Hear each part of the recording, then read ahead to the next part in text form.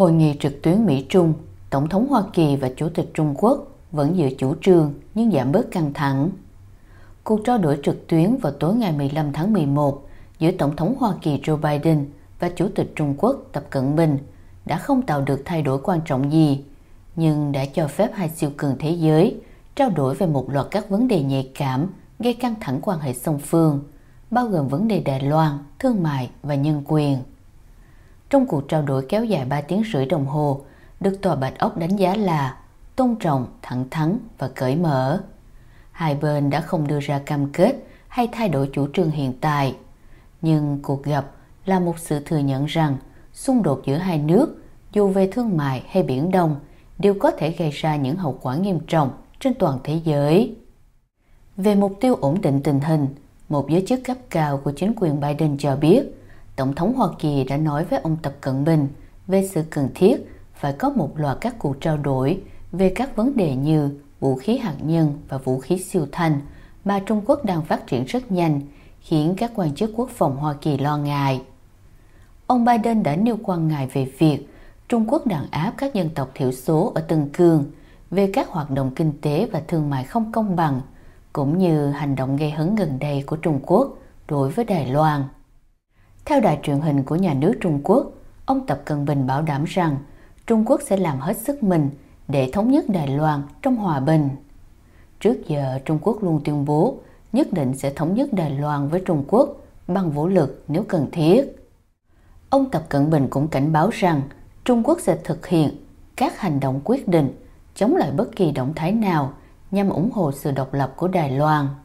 Ông nói đó là những động thái cực kỳ nguy hiểm chẳng khác nào đùa với lửa.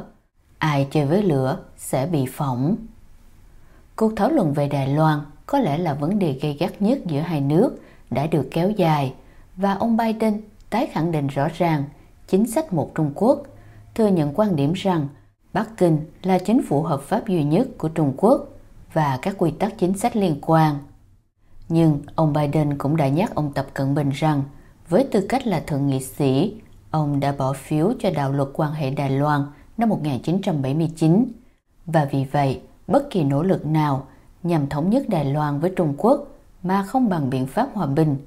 đều là mối quan tâm nghiêm trọng đối với Hoa Kỳ. Trong một tuyên bố, Tòa Bạch Ốc cho biết Hoa Kỳ phản đối mạnh mẽ các nỗ lực đơn phương nhằm thay đổi hiện trạng.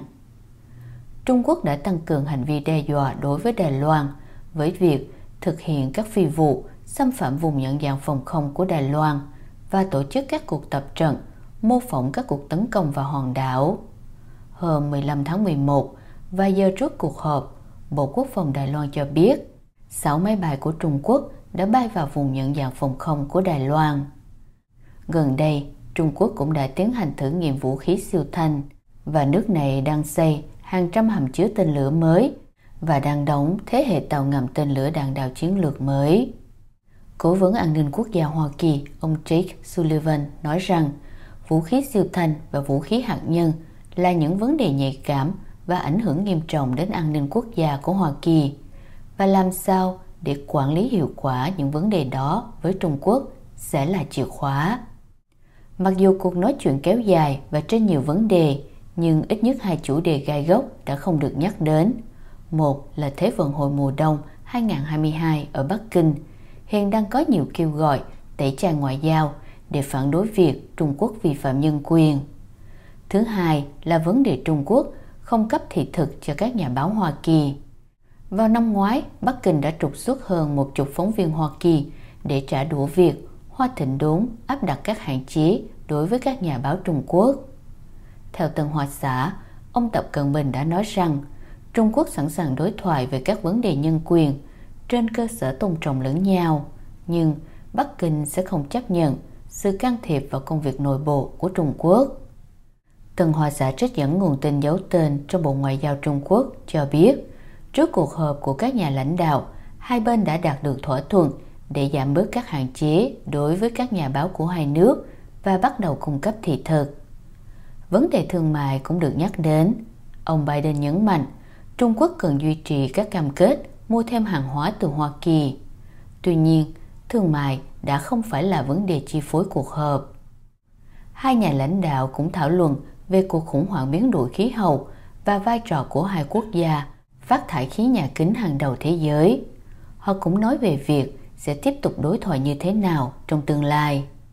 Nhìn chung, Tòa Bạch Ốc đã tìm cách định hình mối quan hệ Mỹ-Trung là một cuộc cạnh tranh ổn định, trong đó các đường dây liên lạc vẫn mở, trong khi Hoa Kỳ làm việc với các đồng minh và đối tác để đối đầu với Trung Quốc ở những vấn đề cần thiết và cùng làm việc với Trung Quốc những khi đôi bên có cùng chung lợi ích.